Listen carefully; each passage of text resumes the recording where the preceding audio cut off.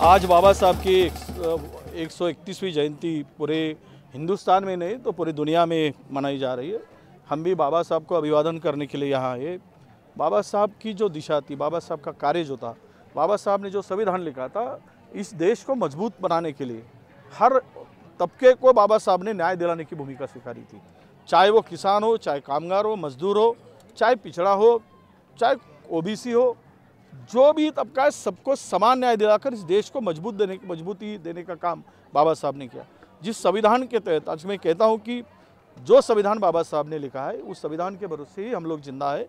या हमारे जो ओबीसी हो, पिछड़ा हो, दलित हो, शोषित हो, आदिवासी हो, इनको सबको जो न्याय मिल रहा है और न्याय की उम्मीद है, वो केवल संविधान से है। आज जिस दिशा में देश जा रहा है, तोड़ने की भाषा हो रही है, बांटने की भाषा हो रही है तो उस भाषा को अगर मुझ तोड़ जवाब देना है तो संविधान को ही लेकर देना पड़ेगा, संविधान के रास्ते पर चल कर देना पड़ेगा।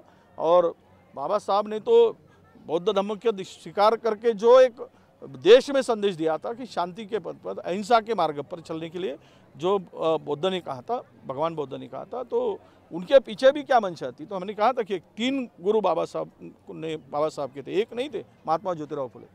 ये थे संत कबीर थे, तुकाराम, संत तुकाराम जी थे। और दूसरे थे महात्मा ज्योतिराव फुले। इन तीनों ने, तीनों का पूरा सार लेकर बाबा साहब ने जब बौद्ध धर्म स्वीकारा ऐसे मैं मानता हूँ। इसी को मद्देनज़र रखते हुए कोई भी धर्म को मानो पर सबसे ऊँचा हमारे संविधान रूपी ग्रंथों को मानो, तब यह देश टिकेगा, देश मज़बूत होगा और देश सबको लेकर चलेगा। यही रास्ते पर हमको सबको चलने की आवश्यकता है।